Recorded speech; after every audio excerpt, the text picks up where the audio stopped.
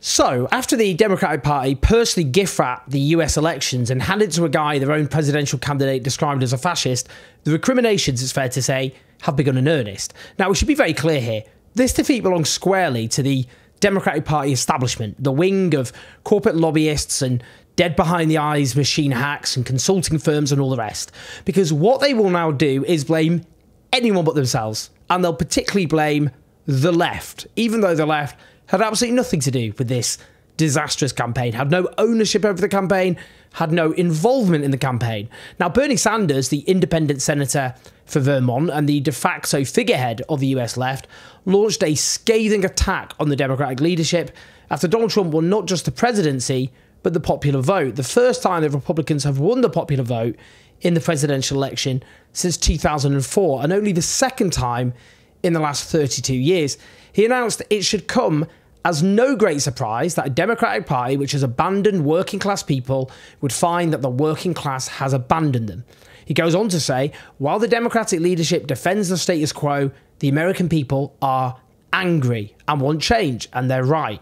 He points out that the very rich are doing phenomenally well, but 60% of Americans live paycheck to paycheck, and there is more income and wealth inequality than ever before. He adds, unbelievably, real inflation accounted for weekly wages for the average American worker are actually lower now than they were 50 years ago. Now, that's a point those of you who've been watching my video channel will know I've been keen to emphasize in my coverage of the US elections. You can't understand what the hell is going on in America, in America without looking at that, that basic statistic. It's ridiculous. Half a century. Way before I was born. I'm a geriatric millennial. And, and, and tens of millions of American workers would be better off when Richard Nixon was still in the White House. He goes on, Bernie Sanders, to say that many young people will have a worse standard of living than their parents despite technological improvements and exploding worker productivity, and also cites the lack of universal healthcare and the highest prescription drug prices on earth. While American workers are unique amongst the rich countries in not guaranteeing paid family and medical leave. He also rightly points to the US continuing to support the Israeli regime in defiance of the majority of the American population, despite all the horrors it's unleashing. He also warns that big money interests and well paid consultants who run the show in the Democratic Party aren't going to learn the real lessons from what he calls, rightly, this disaster or understand the pain and political alienation that tens of millions of Americans are experiencing or have any ideas about taking on the oligarchy in the US. But he asked those concerned about grassroots democracy and economic justice to stay tuned because he promises some very serious political discussions. Well, I'm certainly very interested to hear what those will be, and I hope he will help build a new movement which won't be the cringe liberal resistance we saw under the Donald Trump years. Awful, cringe, privileged activists, not activists, just posting things online. The latest gaffe by Donald Trump. You know, all about tone, all about vibes, not about substance. Because they don't have substance. That's the problem with that wing of the party. Now, what the results so far tell us is that Donald Trump is set to get around the same number of votes he got last time, back in 2020 when he lost. It's just a large chunk of people who voted for Joe Biden in 2020 didn't vote for Kamala Harris. She's coming about 13 million votes below what he got in 2020, admittedly with some votes still to be counted. But bear in mind, the US population has, of course, grown by several million since 2020. So a lot of focus now has to be on why a chunk of the Democratic Party sat at home or just did anything else with their life rather than come out and vote for the Democrats. Now, let's ask in the meantime why so many Americans rejected someone who clearly positioned herself as the continuity candidate of a deeply unpopular sitting president. We were told by that crew that the US economy was strong, and that's the problem.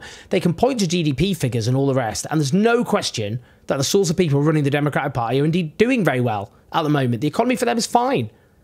But that's not true for huge numbers of Americans, vast numbers of Americans. The cost of living has surged, and that's something I heard over and over again as I travelled across the key swing states here in the US and spoke to Donald Trump supporters, among others. US food insecurity has increased 40% since 2021. Poverty in the US has jumped by 67% since 2021. These are astonishing figures. Household food costs have gone up by 35% since 2020. Two thirds of Americans think the conditions of the economy are either poor or not so good. Well, that's not a surprise when you read those figures back, is it? But many of the Democratic Party loyalists were insisting the economy was booming and instead denigrated what they called a vibecession, suggesting essentially a sense of economic malaise was all in people's heads. By the way, just on this, I tweeted an example of just how many natural Democratic voters have been driven into the arms of Trump because of this economic pain. On the way back from the watch parties I was broadcasting the election results from yesterday, I tweeted, I'm going back to my hotel in New York with a Muslim Pakistani American cab driver who voted for Donald Trump because, in quotes, the prices were too high under Biden. Now, a load of extremely bad faith critics, who I do not lack in bad faith critics, to say the least, then jumped on this to suggest I was denigrating the taxi driver, which makes absolutely no sense whatsoever. As I tweeted just before that, the US economic model is bust. Wages for most working people have stagnated for decades. Either you offer an answer to that or someone else will. But the best Kamala Harris could muster was I'm not Trump. That didn't work. What do these people think my views are, my opinions are? What do they think I think the economic system's great? Do they think I love the Democrats and Joe Biden? Doesn't even make any sense. One of the people who jumped on this was J.K. Rowling, who tweeted a screenshot of a headline of a piece written by the Guardian editor, which reads How the Guardian will stand up to four more years of Donald Trump. She then added, Ooh, let me guess, emotive long form pieces from Owen Jones, complaining that American taxi drivers aren't reading enough Judith Butler. Ooh, very droll. Very droll, J.K. Rowling. Very funny, very amusing. Quite the wit, aren't you? Something you've kept close to your chest. I guess if I was going to be, I don't know, a little bit pernickety here, I have actually written a Guardian piece about the US elections. I wouldn't expect J.K. Rowling to be one of my more avid readers. It's based on having travelled around working class communities in the United States, Michigan, Pennsylvania, Wisconsin, North Carolina, and talking to Trump supporters, focusing on the bread and butter concerns of ordinary Americans. That's what I zoned in on. But I guess if I was going to be really in touch with the American people, I would have ignored all of that. Instead, spent my time sitting in a castle in Scotland, obsessively tweeting about trans people instead.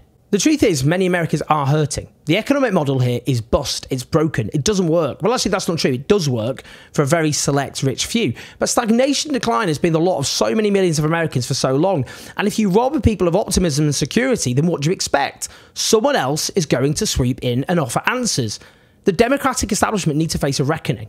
And meanwhile, those in the US who want a genuine alternative which offers an answer to the real bread and butter concerns of people who are suffering, who are struggling, there has to be some searching questions. Because as things stand, the coalition of people, if you like, which I think would be receptive to the sorts of politics that the left has on offer is is divided. There are divisions between different sections, segments, which can be exploited. I'm going to talk more about that in the weeks and months ahead because it's an existential issue. Because if we don't go act together, well, we've seen what's going to happen. We've seen what's going to happen. It will be far right nationalism versus a neoliberal centrism, which has no answers, which will just get swept away. Unfortunately, we'll all get swept away as a consequence as well because the future at the moment on offer is bleak. And it's up to us to offer something different. Please like and subscribe, leave your thoughts and comments. Um, help keep the show the road at patreon.com forward slash 84 Um, listen to the podcast. We've got loads of videos to come. Speak to you soon.